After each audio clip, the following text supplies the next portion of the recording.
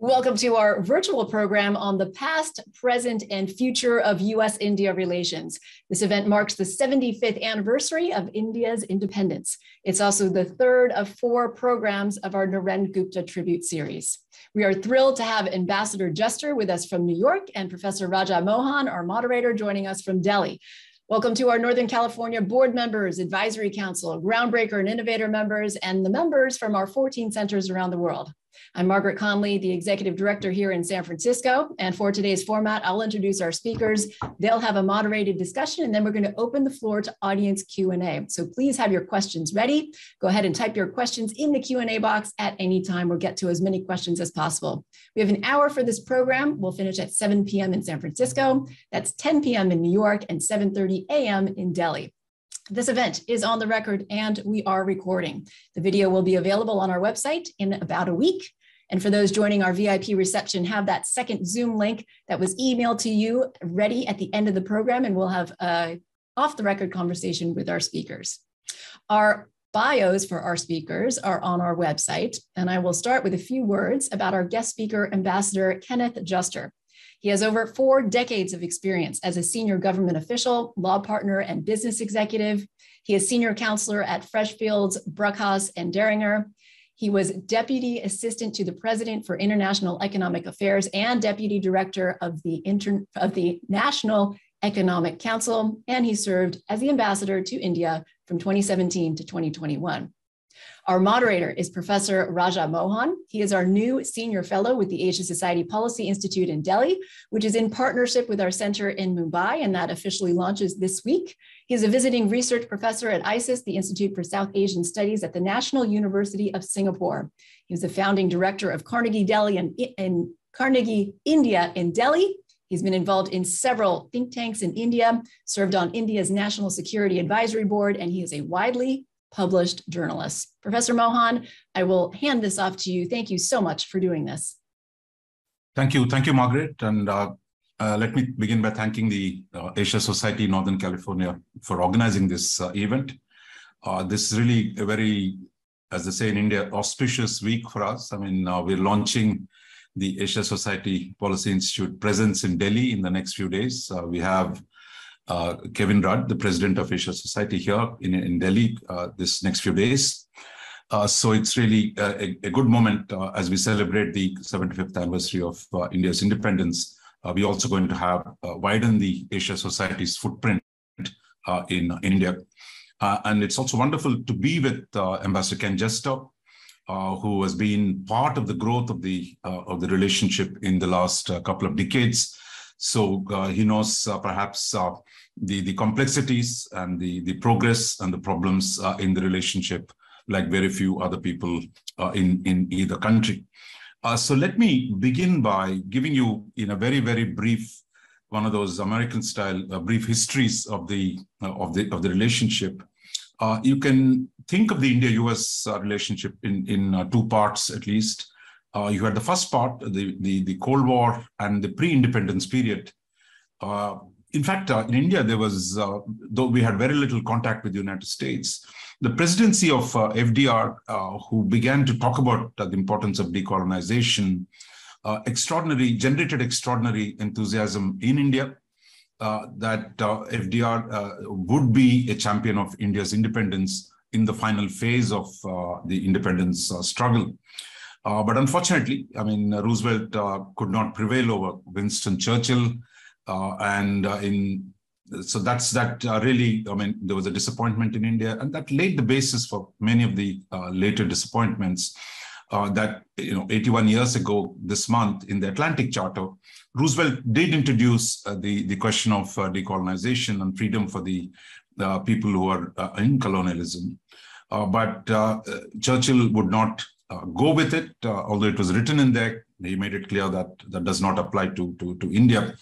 And then we had the Cold War, uh, in which three broad factors constrained the relationship.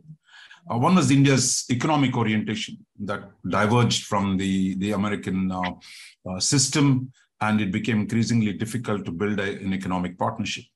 The Cold War created conditions under which India and the US were really ranged on the opposite sides uh, of the international uh, uh, situation. And within the region, the contradictions between US policies uh, towards Pakistan and China and India's relationship with the Soviet Union uh, and uh, created their own sets of problems.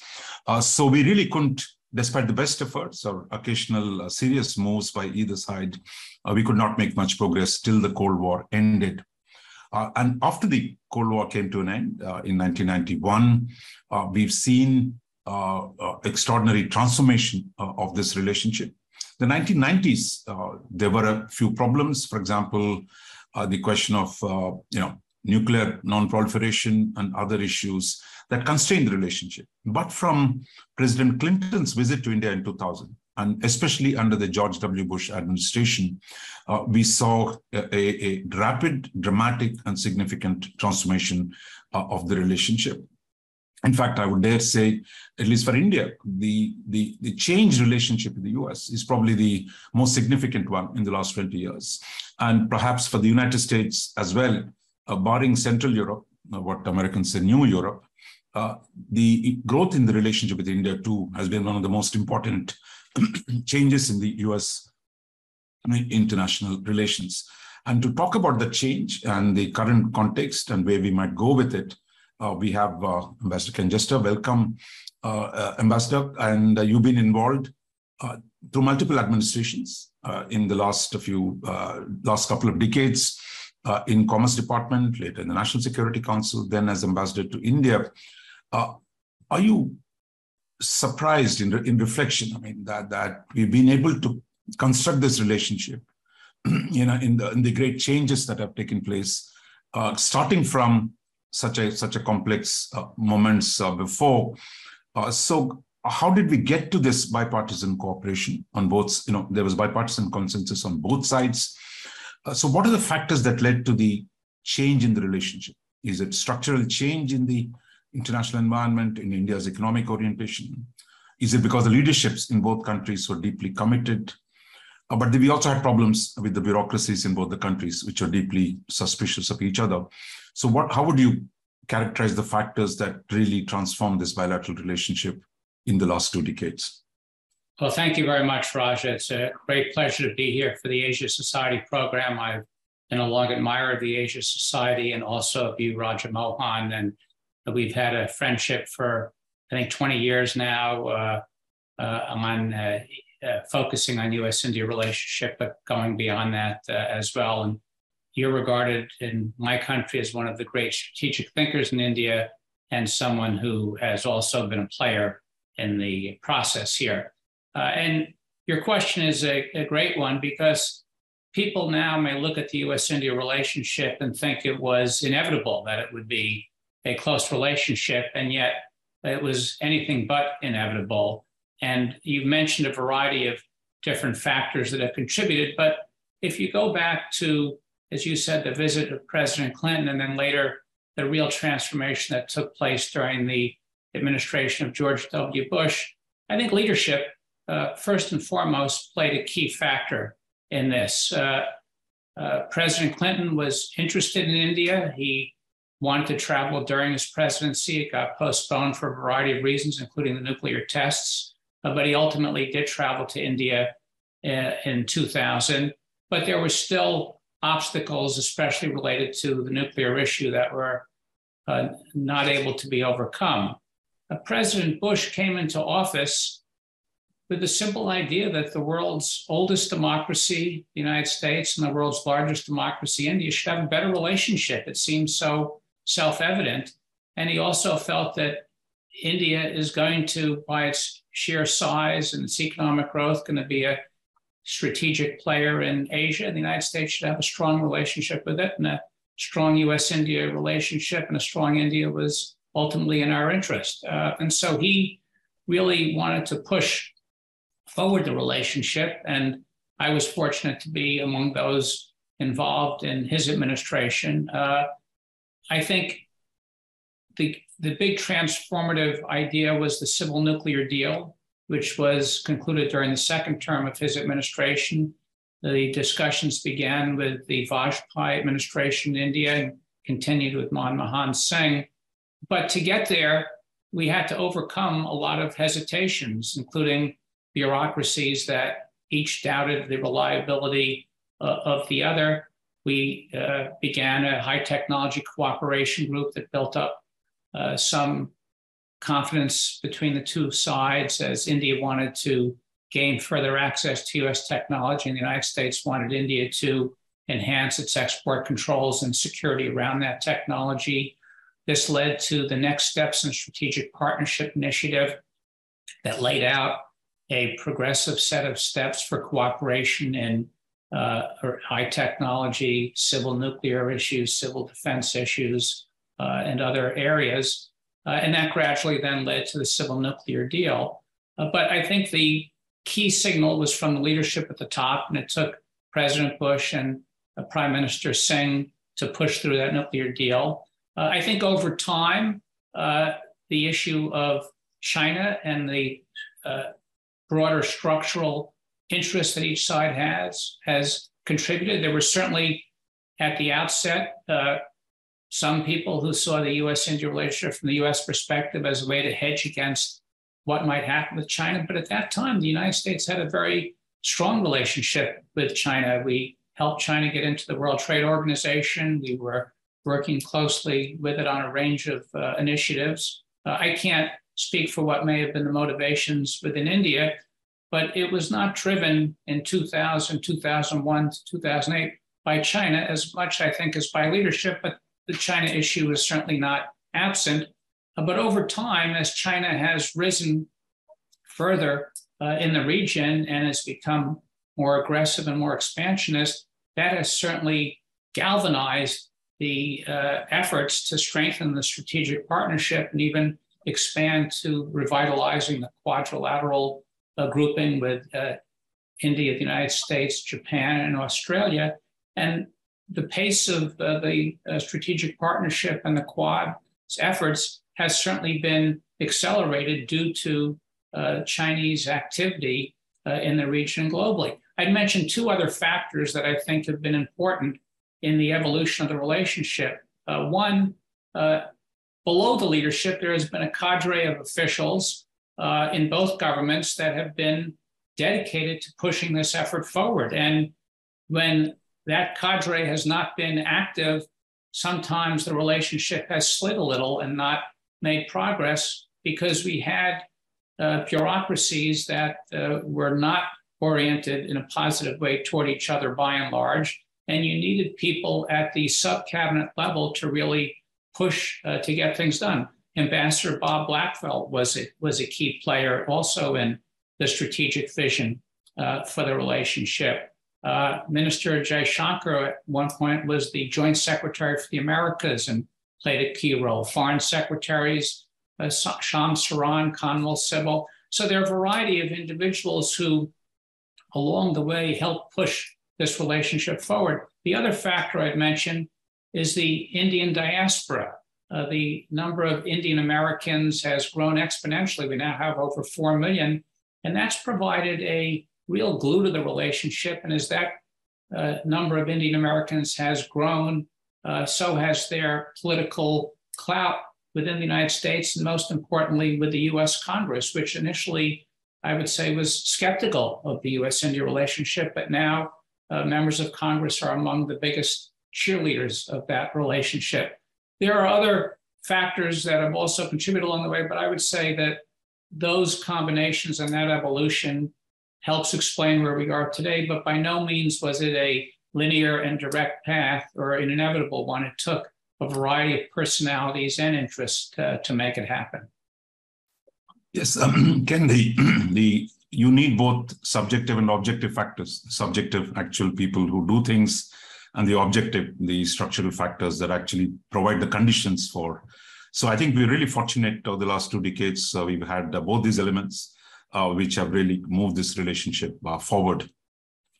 The last two years, we've seen really the growth of the, the geopolitical convergence, uh, the Quad, uh, the first, for the first time. I mean, India is sitting in a large number of institutions with the US uh, and the West. Uh, so we now really seeing a new phase in the in the bilateral security and other cooperation. But uh, to talk about a major problem that's emerging today, the crisis in Ukraine has also the war in Ukraine uh, has shown some of the differences between India and the US of how to approach this question. Of course, India has had a historic relationship with Russia. So, is the Russia problem going to be a deal breaker for India and the US?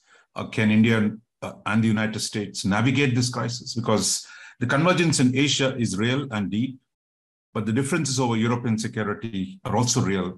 Uh, so how do we how do we navigate this potential problem, uh, real problem today, and how do we transcend it in the in the coming days? Well, it's a very important question. I think the uh, Russian invasion of Ukraine has shown some of the complexities of the U.S.-India relationship, and it is not. Uh, people sometimes think it's an alliance. It is not an alliance. It is a strategic partnership, uh, and India has a different history uh, and geographical position in the United States. And uh, senior members of the US government mm-hmm. understand India's long uh, relationship with first the Soviet Union and then Russia, uh, which, uh, as you alluded to in your introductory comments, uh, as the United States during the Cold War leaned a bit toward Pakistan and opened up a relationship with China, India, while it had sought at one point uh, uh, weaponry from the United States felt uh, uh, constrained to go to the Soviet Union, and in fact, even signed a friendship treaty with Moscow in 1971, and has over the years gotten the vast majority of its military equipment from first the Soviet Union, now Russia, uh, estimates of 60 to 70 percent. It certainly relies on Russia for spare parts for that equipment. Uh, and Russia's also been helpful to India at the United Nations. Uh, it's provided India with uh, constructing nuclear power plants. It provides it with certain technology, nuclear submarines that other countries uh, do not. Uh, and Russia often does this with less conditions than uh, the United States or Western countries might do. So there's a long relationship, and, and also of significance. India does not want to push Russia closer to China. It wants to maintain its own uh, relationship with Russia so that there can be hopefully some daylight uh, between Russia and China. Uh, so that's the background. You now have the Russian invasion of Ukraine. And while some people have said that's a European problem, I, I think that's uh, not the correct lens to view it uh, because it really is, in my opinion, a problem relating to world order instability. Uh, the Russian invasion violated the basic principles of uh, international relations for the past uh, 70 plus years, in which they really unprovoked violated territorial integrity, borders, sovereignty. And this has implications not just for Europe, it has implications for the whole world, including uh, Asia, where some of China's expansionist activity is also not fully respected territorial integrity and borders and, and at times sovereignty.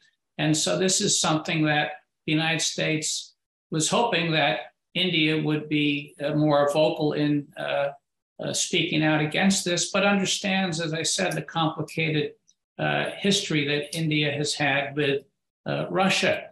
At this point, however, as a practical matter, I think Russia is going to find itself increasingly isolated politically and economically within the world, and it's going to uh, be unable to, uh, in my view, over time provide India with the advanced weaponry that it may seek, and it may even be unable to provide all of the spare parts. In fact, some of those spare parts, my understanding is, are were made in Ukraine uh, overall, and so this is going to put a strain on the relationship. In addition, if India wants to get the most advanced uh, weaponry from the United States, the U.S. is going to have hesitations if that equipment is being mixed with equipment from an adversary, Russia.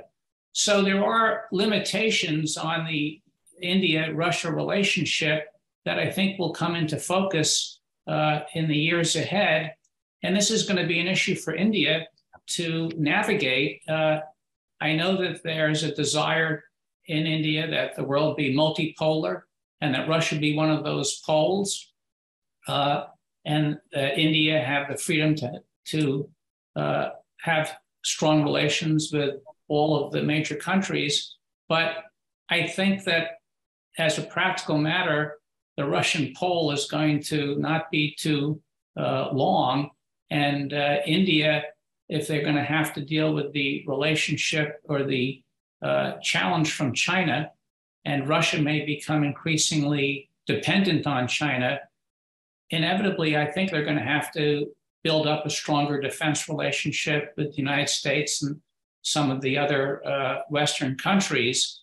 Uh, that's going to be a choice for India and how far they go. I don't think it will ever become an alliance, but I think managing that transition of moving away from Russia and perhaps uh, further enhancing the relationship with the United States is going to be uh, a possibility over the next five to 10 years.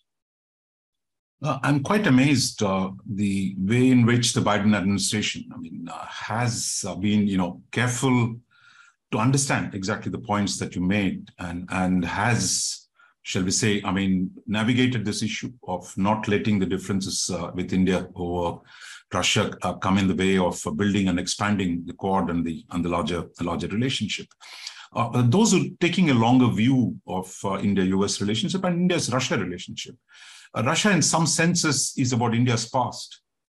Uh, in a sense, there was a context in the Cold War in which it came, and the question of China, uh, you know, balancing China, where Russia was an important factor. But today, Russia and China are close partners. And for India, the challenge of a unipolar Asia, where dominated by China, uh, is really a big one. And, and that is not going to be addressed with uh, with Russia, but with the with the United States. So I think we are in a different context. Those who are a trade, for example, uh, India's trade with Russia, in spite of the recent oil purchases, etc., uh, which is uh, which is really a, uh, a, a moment, uh, an opportune moment there, but not really structural. Uh, if you see India, India Russia trade is barely ten billion dollars, and it's less than Bangladesh trade. India's trade with Bangladesh. But the India-US trade has dramatically grown. I mean, you remember Bob Blackwill, who came to India as ambassador in 2001, talking about India-US trade. It was flat as a chapati. At that time, it was around 20, $20 billion, if I recall right. But today we are at $160 billion. I mean, that's including services, uh, much of it goes to California, I presume. Uh, and the goods trade, the US is already the largest trading partner. So here is a paradox. The trade volumes have dramatically grown, but so have trade problems. And you, I mean, for you, trade has been a major focus and uh, I remember when Biden came to India many years ago, he talked about a $500 billion trade relationship between India and the US.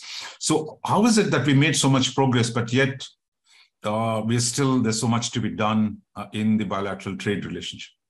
Well, you've really uh, summarized it quite well. The trade relationship has continued to grow. I remember when I was ambassador, uh, my commercial minister said it's never been better and I sort of said, but we have all these problems. But he said, but it's never been better. And so it has grown. When I was Undersecretary of Commerce, it was about 19 billion in goods and services. And when I left as ambassador, it was close to 150 billion. And now it's up to 160 billion. And yet, for the world's largest and sixth largest economies, it doesn't fulfill its potential, in my view.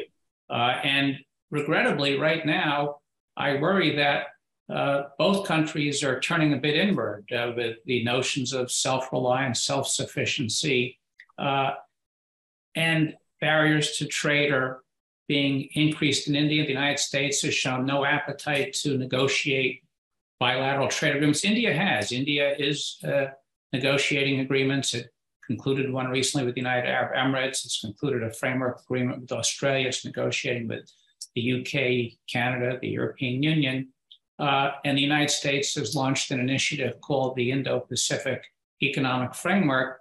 But both countries withdrew from regional trade agreements, which I think is uh, going to create a challenge for them. India had been negotiating for seven years in the Regional Comprehensive Economic Partnership Agreement. It withdrew uh, at the last minute uh, in uh, a couple of years ago. The United States had been a lead negotiator in the Trans Pacific Partnership Agreement, but it withdrew abruptly at the beginning of the Trump administration. And what's happened is we've ceded the ground to China. Uh, and China views the economic uh, playing field as the one of sort of major competition, and it's been able to dominate. It has, I think, the leading bilateral trade partner with virtually every country in Asia. Uh, it is a leading member of the Regional Comprehensive Economic Partnership Agreement, and surprisingly, it's applied for the follow-on to the Trans-Pacific Partnership Agreement, the Comprehensive uh, and uh, uh, the CPTPP yep. Uh, agreement uh, and Comprehensive and Progressive Agreement for Trans-Pacific Partnership. And they also have their Belt and Road Initiative to try to increase the, really the dependence of other countries in the region on Chinese economic largesse to uh, develop their infrastructure and connectivity. So the United States and India need to look at trade not just as an economic matter, but as a strategic matter, in my view. Uh, they need to have the political leadership to solve some of their small disputes, but then together try to have the leadership to help structure regionally what trade should look like, especially in emerging areas such as the digital economy, which are going to be critical uh, for both countries. Otherwise, they'll find themselves on the outside looking in as China sets the standards and norms for international trade in the region and ultimately uh, economic growth. So it is an area, uh, as you said, where there's been great progress, but it's also one of unfulfilled potential. And I think it requires not just the trade ministers and the commerce ministers to get involved, but I think the political leadership because it's as strategic as it is economic. You mentioned digital trade. I mean, I'm sure this is of special interest to, to California, uh, uh, where we've seen uh, there has been an expansion of uh, you know advanced technology cooperation on a range of issues where the kind of link today that exists between Bangalore, uh, Hyderabad on the Indian side and Silicon Valley on the on the other. Uh, that you were you had a critical role, uh, you know, when you were dealing with the technology question. You remember uh, we had a whole problem of export controls, uh, technology controls from the from the US side, and how did we overcome that? And and uh, where do you see beyond the trade question? uh, given the dramatic uh, technological revolution that's unfolding and uh, India's own growing talent and capabilities and the Indians contributing to it uh, in, the, in the United States. Uh, how do we leverage this, uh, the emerging revolution? some, some people call it the fourth industrial revolution or the technological revolution that covers um, artificial intelligence, semiconductors to space, to our you know range of areas. So how do you see this? How do we build on this possibility on the technological side, both the problems in the past as well as the potential for the future? Yeah, well, as you mentioned, technology has always been a key component of the relationship, and it's how I first got involved as a government official because early on, India wanted increased access to US technology, what's called dual use technology. Technology has that has both the civilian and military application. And because of the nuclear tests, a lot of Indian companies had been restricted from being able to gain such access. And so we worked out uh, in the High Technology Cooperation Group and the Next Steps in Strategic Partnership roadmaps for how we could take Indian companies off the entities list and gradually increase India's access to US technology as India built up its own capabilities through export controls uh, and other safeguards to protect that technology and make sure it ended up being used for the purpose it was uh, intended. There was initially resistance to that, uh, but now India is very proud that it's a member of three of the four multilateral export control regimes the Wassenaar Arrangement on dual use items, the Australia Group on uh, chemical and biological weapons, and the Missile Technology Control Regime. And it should be in the Nuclear Suppliers Group, but China has stood in the way of its uh, membership. Today, uh, it's much more of a partnership in terms of the potential on technology. Uh, as you mentioned, India has tremendous talent uh, that goes along with technology. Sometimes the US has a lead in some of the technology, for example, in artificial intelligence, but India has a lot of talent to contribute. And for something like artificial intelligence, data is a big element of that as well, because you need to have big data to analyze in order to build the uh, models for artificial uh, intelligence and the algorithms that you'll use. Uh, and so this is an area of tremendous potential. The two countries have set up cooperative uh, work in this area. I think it's also something that the Quad countries want to do, but it goes back to making sure that there's a regime for the digital economy that makes sense. If India's been trying to look at how it's going to protect data, and there's been concerns that it will have restrictions on cross border use of data, as well as perhaps extensive concerns about the privacy of data. And this, I think, could be a, a, hamstring hamstring the operations of cooperation in this area. So this is something that the United States and India have to make sure that they can bring to bear the technology, the talent, and the data.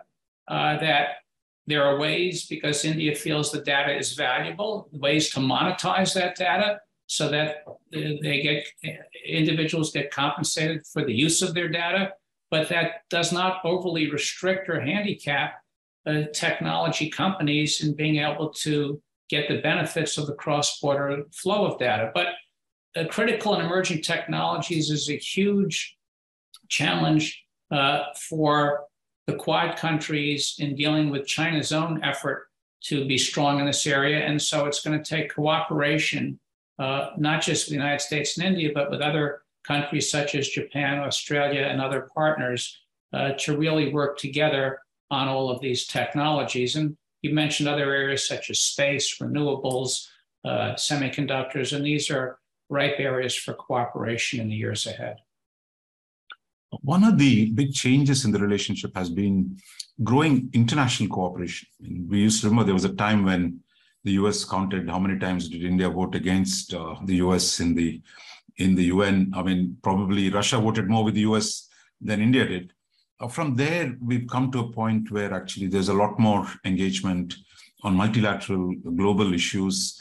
And there, you know, uh, do we see uh, this idea of like-minded coalitions, which which the US now talks about, because the traditional multilateralism of the kind that the, expected from the United Nations, uh, WTO, uh, or the uh, G20, uh, that while those remain important, do we strengthen the like-minded coalitions? I mean, one Quad or uh, G7 plus. So is, this is a seemingly a, a major transition in the way the global governance is going to unfold, and a lot of it has to do uh, with what you said about technology standards. So in a way, the China's weaponization of multilateral institutions uh, and Russia's full support for China is opened up a new space. So where do you see this uh, this range of international cooperation? Yeah, well, what's happened uh, over time is that some of the multilateral institutions have simply become less effective. They have broad membership. They often require consensus, and they get into a stalemate. And especially now after COVID, there's concern of some countries in terms of who they can rely on, who they cannot rely on for supply chains and issues of that like. And so the notion of trusted partners or like minded coalitions has gained uh, acceleration in the last uh, few years. And I think that that is a way of dealing with some of the particular challenges we face, whether it be in pandemics or in climate issues or infrastructure and the like. I do think there's a foundational set of issues relating to defense and security where it can't just be a loose, like minded coalition or just, you know, on this issue, we'll get this group of people, on that issue, we'll get that group of people.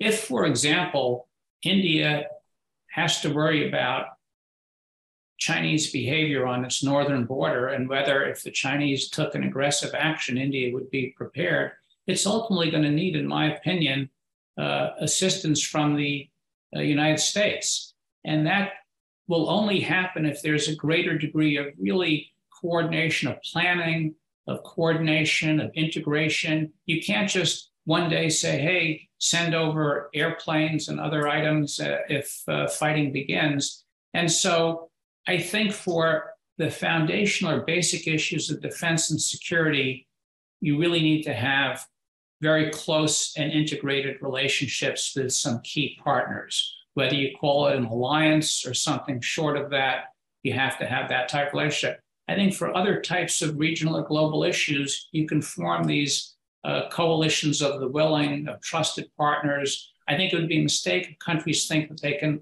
all handle everything on their own. I mean, there is this notion today that everyone wants to be the exporter but not the importer. Uh, everyone wants to benefit from a trade agreement or globalization, but not make any compromises. And we're going to have to work these things out and realize that together, trusted partners can achieve more than we can alone uh, and try to be self reliant or self sufficient on everything. So we will soon go to the audience for questions. So please send in your questions.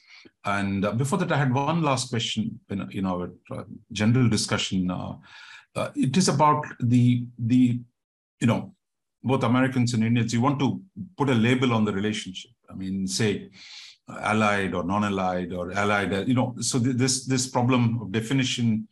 Uh, sometimes, as you know, you served in the government. Sometimes the labels actually complicate things so you said, look, India and US are not going to be allies, or not allies now, in a, allies in a very technical definition, but they're doing a lot more things together. So how do you see this, uh, uh, the, the question of uh, can we be stronger partners as two large countries? And India eventually will become the third largest economy.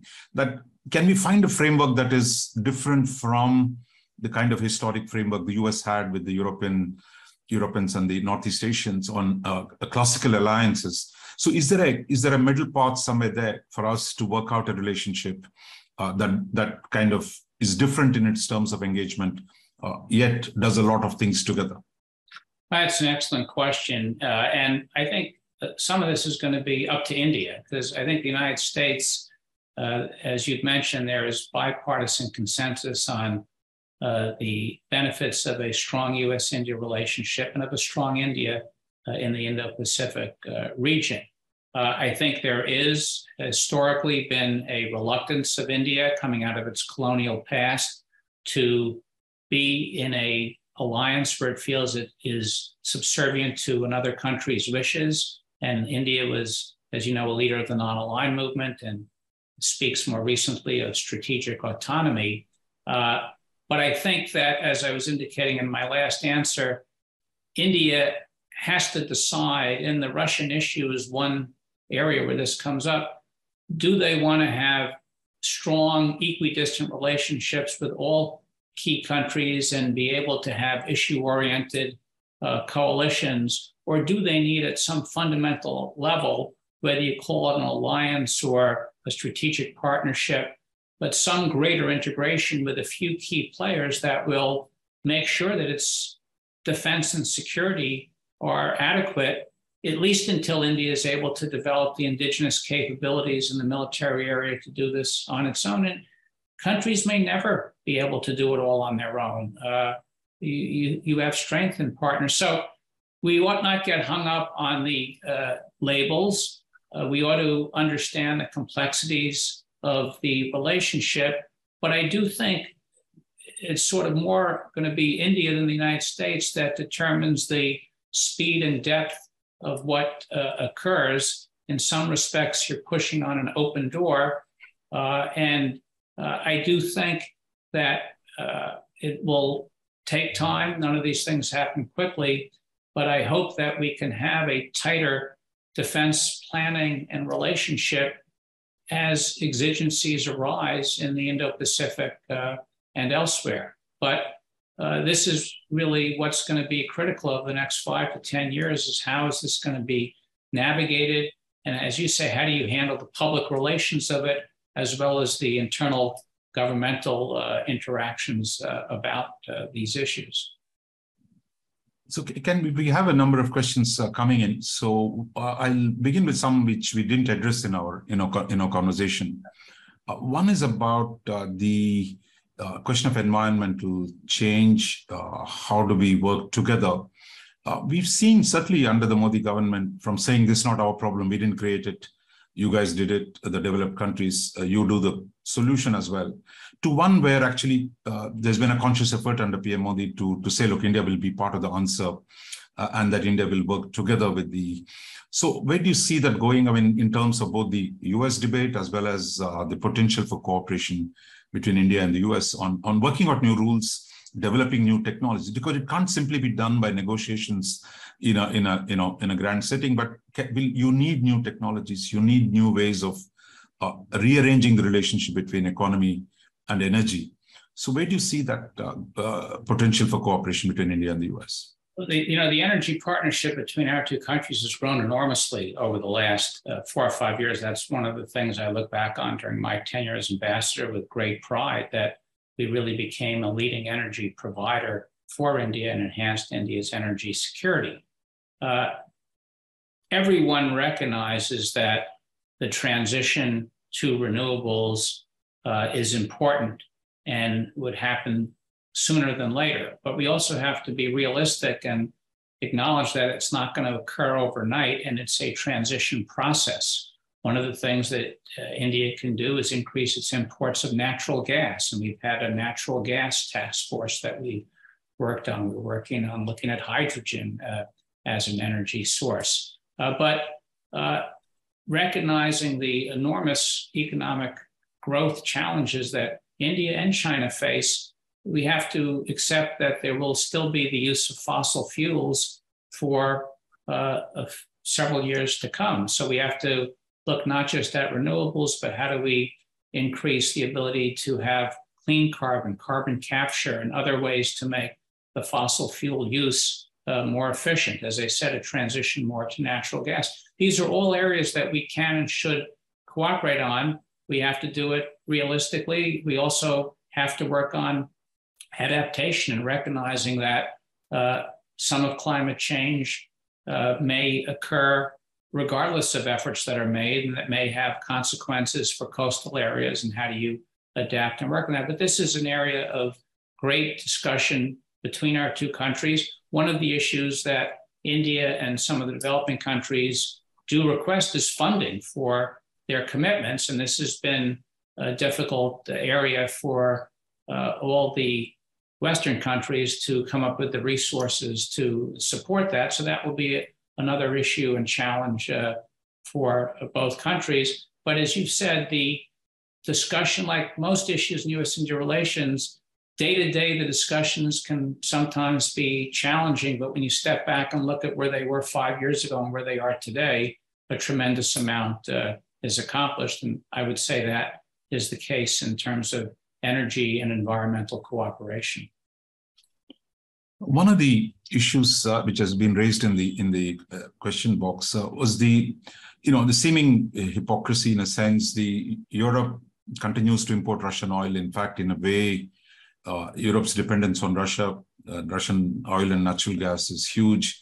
While there's a lot of criticism of India, but I thought the administration was far more Biden administration was far more careful in how it frames the issue, and in fact, uh, it is today talking about working together to deal with the problem because it's the energy crisis has hit not just India, but a whole lot of countries, developing countries. So that's one part. I mean, that, that we need to address that problem. How do you cut revenues to Russia without uh, choking off oil supplies because uh, to the to the rest of the developing world, including including India. So that's one part of it. The second part was U.S. India doing more on the energy front. I mean, recently uh, ExxonMobil has signed an agreement with uh, with the ONGC, the Oil and Natural Gas uh, Corporation of India, which does the exploration, a cooperation on exploration, because India's uh, internal exploration of its maritime and uh, land territories, we need to do more finding oil on our own territory, and I think this partnership between ExxonMobil and India. That's the kind of thing we need to do, find actual practical solutions rather than simply argue about the conditions under which we deal with the problem. You got a lot of uh, different points in that question. Uh, you know, on, on, first on dealing with uh, Russia and oil imports, the argument in the West is that Europe, while they're importing a substantial amount of uh, energy from Russia, is gradually seeking to lower that. And the concern is that India is increasing its volume of exports of imports, but at the same time, the total amount of Indian imports is infinitesimal relative to that in Europe. And it's very tough, in my opinion, for uh, other countries to complain about India when they're still importing a substantial amount from Russia. Over time, we're going to have to all, if the war keeps up and uh, Russia's committing atrocities, work our way to lowering uh, imports from them. And as you said, uh, we're now discussing different ways of managing that situation. I was involved when I was in the State Department during the first Bush administration, George H.W. Bush, in putting together the Gulf War coalition. And we recognized that the sanctions on Iraq were going to have a detrimental impact on a variety of countries. And we sought to offset the sanction impact with other measures. And that's what we've got to do here as well as sanctions are being imposed. It's had collateral damage, and uh, the countries imposing the sanctions have to work with those countries experiencing the collateral damage to figure out ways to lessen that if you want to make the sanctions effective uh, over time. So these are all areas that are ripe for discussion. They may become more acute if the war uh, and Russia's invasion of Ukraine continues uh, uh, for uh, a long time, as it may well. And there may be, as you said, issues of food shortages, fertilizer shortages, other commodity issues, as well as energy. But this is one of the collective problems that uh, we have to address. We didn't discuss too much on the latest developments uh, occurring in Asia, especially in relation to Taiwan. Uh, so I have a question on that. I mean, uh, uh, uh, what would be the what are the kind of you know the crisis is building up you know india generally tried to stay away from uh, one China policy, you know, given its commitment to one China policy. Uh, what we've seen some interesting developments in the last uh, few days. India is not no longer reaffirming its one China policy. Yeah, certainly, since its own problems with China on the border have increased, and at the same time, India can't join the US uh, and say Japan and the other Quad partners in denouncing China when itself is fighting, you know, has uh, almost uh, 60,000 soldiers uh, standing for a second winter uh, at the 14,000 feet in the in the high Himalayas. So on the Taiwan question, which has potential to hugely destabilize the region, uh, how do we expand the engagement between India and the US, and what are the expectations in Washington of India? Well, again, this is a very complicated issue. You know, the premise behind the one China policy is that any changes uh, in China's relationship, mainland China's relationship with Taiwan, will occur peacefully. Uh, and some of that now has been undercut by China's own actions in Hong Kong, where it uh, violated its uh, commitments in terms of, uh, you know, one country, two systems uh, in Hong Kong no one is looking for Taiwan to declare independence and create a, uh, a clash with China, but also uh, no one wants to see China try to uh, incorporate Taiwan by force. And therefore, people recognize, especially in terms of what's happening in Russia, Ukraine, what are the lessons that we need to d- take and how do we try to make clear to the Chinese that they need to negotiate uh, a solution with Taiwan and work on trying to peacefully resolve that issue over time and not consider the use of force. At the same time, the Chinese seem to have made clear by President Xi that uh, he's not going to leave incorporation of Taiwan into the mainland China for the next generation. It's an issue that he wants to solve uh, during his tenure. Uh, and so, again, the next five to 10 years are going to be very critical. My assumption is that China doesn't seek a conflict at this time, but it's certainly trying to build up its military capabilities if it chooses to have a conflict in five or 10 years from now. And other countries have to figure out what they need to do uh, relative to Taiwan and their own commitments and capabilities to try to indicate to the Chinese that any military action would be a, a mistake. Uh, and this is something that we should be discussing with our partners. Uh, and it has been noted that India has taken a slightly uh, more nuanced position uh, recently. Uh, there uh, is an opportunity for increased India Taiwan trade, as there is in the United States. and we'll have to see how that plays out, but it's part of the dynamic elements of uh, this region. And it's why, as I said earlier, you can't look at the Russian invasion of Ukraine as an isolated activity. It sort of has broader ramifications for some of the changes going on in the world more broadly. And uh, it should not give China license to feel that it can now take military action against Taiwan in the same way that Russia is doing against Ukraine. Now, talking about one China policy uh, and the recent visit of Speaker Pelosi uh, to uh, to Taiwan, there's uh, generally there's a lot of focus in the U.S. on the complex U.S. position uh, in relation to Taiwan, but there is also Tibet, uh, which is equally problematic. And uh, uh, Speaker Nancy Pelosi has also been a, a, great champion of Tibet and and Tibet's rights within China. So here, and then if you look at the Tibet as, a, as an issue, we see gathering storm clouds. We have, as I said, 60,000 troops. They're locked in a fight uh, in, uh, in the high Himalayas, in the Ladakh sector. We have uh, recently, uh, His Holiness Dalai Lama went to Ladakh, uh, which is again, you know, the, the dispute between India and China over Ladakh is also sharpened politically and diplomatically. And then India and the US are doing exercises close to the China border. So you have is this issue there was a time when tibet uh, issue seemed to dominate uh, washington's thinking.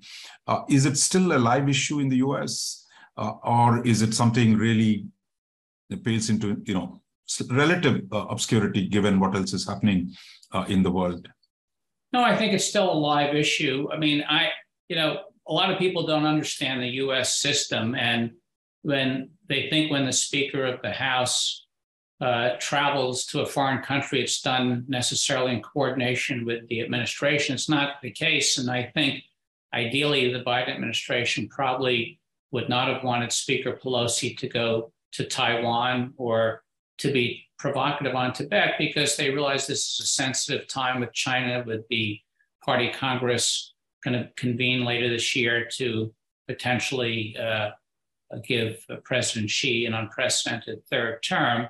Uh, and yet the speaker did that because these are live issues and there is a strong American commitment to uh, the Tibetans, uh, to preserving Tibetan culture.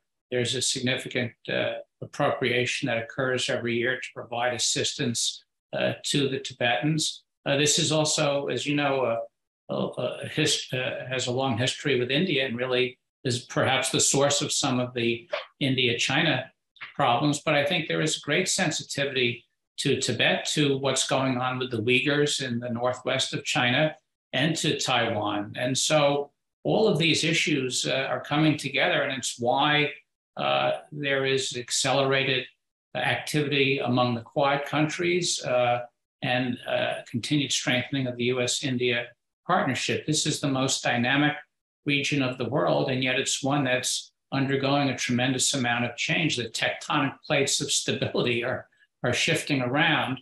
And uh, we'll have to see, again, hopefully, uh, the, there'll be leaders, going back to your initial question, in all of these countries that will rise to the occasion and, and uh, address these issues in a collective and uh, thoughtful way.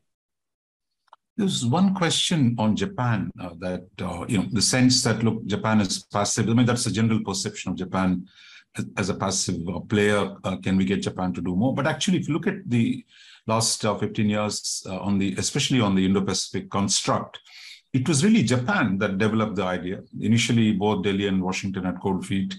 Uh, it's really Japan has already taken the intellectually, surprisingly, I mean, I would say, uh, in the last uh, decade to really build the Indo-Pacific as a as a as a uh, geopolitical construct, and in the and since Ukraine, I mean, it's quite staggering to see the kind of changes Japan wants to do, strengthen its own military capability, strengthen deterrence vis-a-vis China, uh, to do more with uh, India and other Asian countries to build regional partnerships.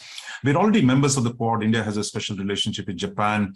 Uh, how do you see uh, the Japanese role in shaping India-US partnership uh, in the next uh, few years? Well, it goes back to your initial question on leadership and on structural interest. And again, Japan's had a bit of both. Prime Minister Abe was critical in the whole concept of the Indo-Pacific in a speech he made in 2007 uh, to the uh, Indian Parliament, uh, and uh, he has really uh, tried to reorient Japan a bit to being more concerned about its security and being a little more forward-leaning, despite its constitutional limitations on what it can do. And you also see now the interest of Japan. China has given its uh, difficulty in the East China Seas, and uh, they're concerned about what China is doing in its exercises relative to Taiwan and its activity. And so Japan has been very important in uh, energizing the Quad, uh, in developing a much stronger relationship with India. I think uh, that's been critical in the last several years. You see Japan providing a lot of assistance in the northeastern states uh, in India. Uh, and we now see military exercises. The Malabar exercise is, uh, you know, often was a three country exercise with Japan, United States, and India. It's expanded to Australia. So Japan has become a very dynamic and important player. In Australia, by the way, you didn't ask about this, but has become much more uh, active uh, in the last several years, in part because of what China has done in Australia, sought to question what the origins were of COVID 19. The uh, Chinese uh, hit them with all sorts of sanctions, and the Australians have said we don't like that and have stood up. And so uh, Chinese activity, along with leadership in these countries, has accelerated the degree of cooperation among Quad members. And I think you'll see Quad plus uh, groupings as well uh, in uh, dealing with uh, the range of challenges uh, that are going to be on the radar over the next few years. No, thanks.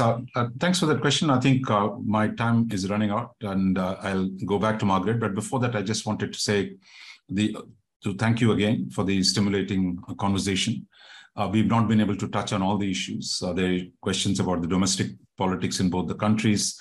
But what is uh, significant, I thought, looking at the last 20 years, I mean, there's no shortage of people uh, who are pessimistic about the relationship at any given time.